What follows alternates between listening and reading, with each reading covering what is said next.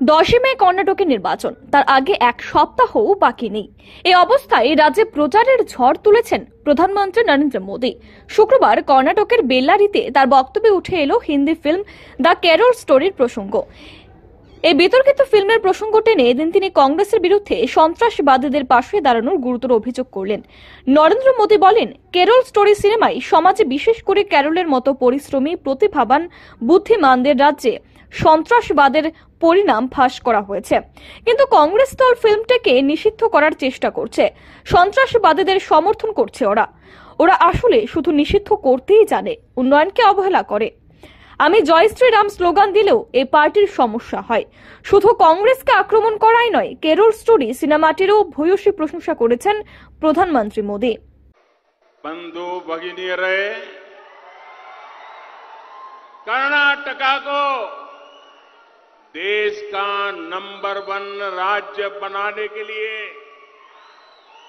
सुरक्षा व्यवस्था law and order सबसे प्रमुख आवश्यकता है। कर्नाटका का आतंकवाद से मुक्त रहना भी उतना ही ज़रूरी है।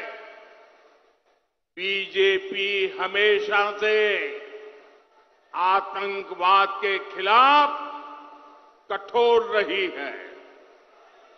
लेकिन जब भी आतंकवाद पर कार्रवाई होती है, कांग्रेस के पेट में दर्द होने लगता है।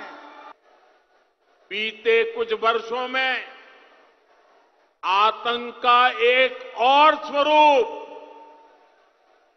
भयानक स्वरूप पैदा हो गया है। स्नेह तिरे, बम, बंदूक और पिस्तौल की आवाज़ तो सुनाई देती है। लेकिन समाज को भीतर से खोखला करने की आतंकी साजिश की कोई आवाज़ नहीं होती। कोर्ट तक ने आतंक के इस स्वरूप पर चिंता जताई है? ऐसी ही आतंकी साजिश पर, आतंकी साजिश पर बनी फ़िल्म केरला स्टोरी। ये केरला स्टोरी की इन दिनों काफ़ी चर्चा है।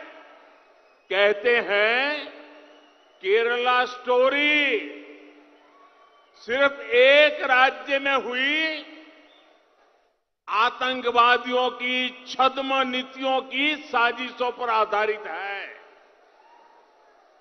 देश का इतना खूबसूरत राज्य, जहाँ के लोग इतने परिश्रमी और प्रतिभाशाली होते हैं उस केरला के में चल रही आतंकी साजिश का खुलासा। ये केरला स्टोरी फ़िल्म में, केरला फाइल्स फ़िल्म में उसे किया गया है। और देश का दुर्भाग्य देखिए कि कांग्रेस आज समाज को तहस नहस करने वाली इस आतंकी प्रवृत्ति के साथ खड़ी हुई नज़र आ रही है। इतना ही नहीं, ऐसी आतंकी प्रवृत्ति वालों से कांग्रेस पिछले दरवाजे से राजनीतिक सौदेबाजी तक कर रही है। कर्नाटका के लोगों को इसलिए कांग्रेस से बहुत ही सावधान रहने की ज़रूरत है। তিনি বলেন, আজ সন্ত্রাসবাদ নতুন চেহারা নিয়েছে। অস্ত্র, বোমা ইত্যাদি ব্যবহারের পাশাপাশি ভিতর থেকে সমাজকে ফাঁপা করে দিতে চাইছে সন্ত্রাসবাদীরা। কেরল স্টোরি সিনেমায় সন্ত্রাসবাদের এই নয়া মুখটিকে ফাঁস করা হয়েছে। ক্ষমতায় থাকাকালীন সন্ত্রাসবাদের সামনে মাথা নত করেছিল কংগ্রেস। দীর্ঘদিন ধরে আমাদের এই হিংসার শিকার হতে হয়েছে। কংগ্রেস কখনোই সন্ত্রাসবাদের হাত থেকে দেশকে রক্ষা করেনি। কংগ্রেস কি কর্ণাটককে রক্ষা করতে পারবে? তিনি আরও অভিযোগ করেন যে ক্ষমতা দখলের জন্য সন্ত্রাসবাদীদের সঙ্গে তলায় তলায় আপোষ করছে Congress. Bureau report, R E news.